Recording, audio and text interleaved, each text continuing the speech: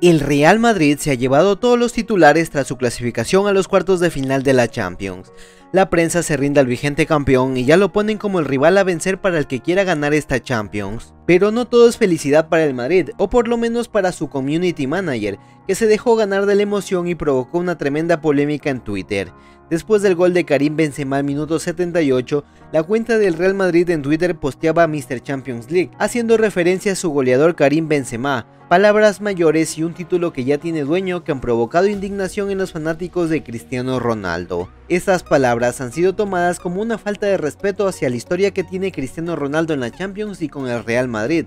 Si bien Karim Benzema está a un altísimo nivel en las últimas ediciones, pero sus números siguen lejos de Ronaldo, el llamado Mr. Champions por dominar por completo en la máxima competición europea.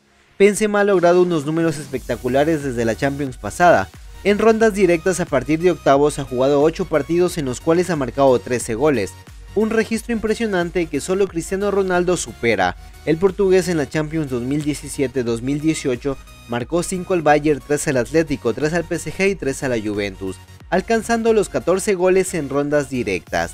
En el conteo global de los goleadores, Ronaldo es el líder con 141 goles, seguido por Messi con 129. En la tercera posición está Lewandowski con 91 y en cuarto aparece Benzema con 89 tantos. Karim por ahora está muy lejos de los primeros puestos.